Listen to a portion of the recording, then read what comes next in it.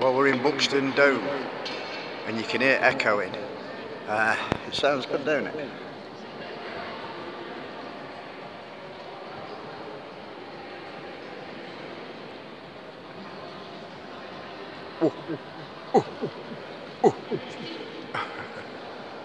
Well,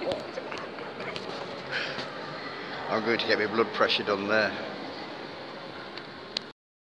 Uh, well, we've come to Peak District, uh, and we're gonna we're gonna go into Poole's Cavern, on the outskirts of Buxton, and then we're gonna uh, have a woodland walk up to uh, Solomon's Temple. We're just stopping for tea. We've got a 20 minute wait before we can go in caves. So uh, it's about four o'clock. So we'll uh, we'll get on we'll get on with things.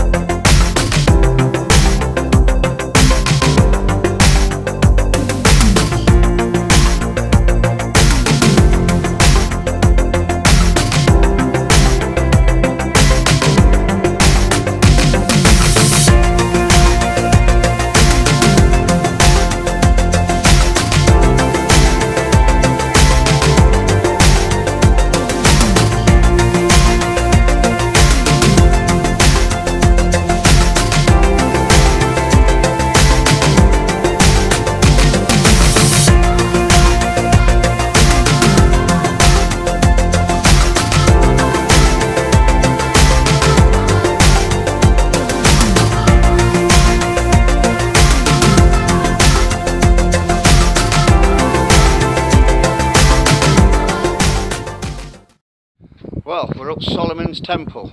Well, I am, because has gone back down. Uh, outskirts of Buxton. It is a good view up here. Well, I would say it'd be a better view on a summer's day. It's a bit, it's a bit cold and windy at the moment. But anyway, I'll pan you around. I can hear you.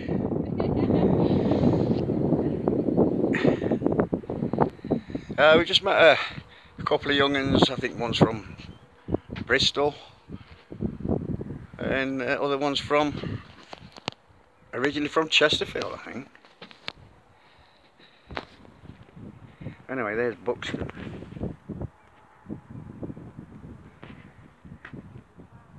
so we'll go on with things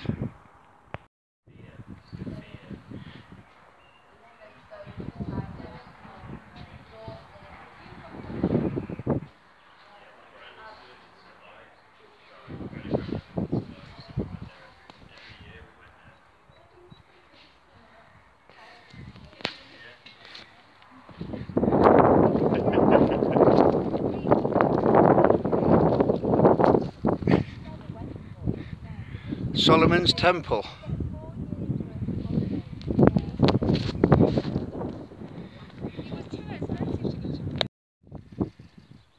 Well, we're not camping.